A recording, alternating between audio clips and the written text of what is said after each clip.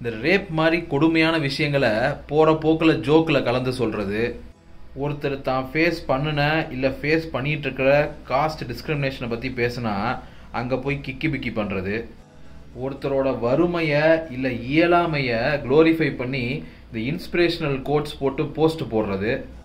ரொம்ப சர்வசாதாரணமாக இந்த கலரை வச்சு சைஸை வச்சுலாம் பாடி ஷேமிங் ஜோக்ஸ் கிரியேட் பண்ணுறது இந்த மாதிரி ஆளுங்கெல்லாம் ரொம்ப டேஞ்சரஸான ஆட்கள்.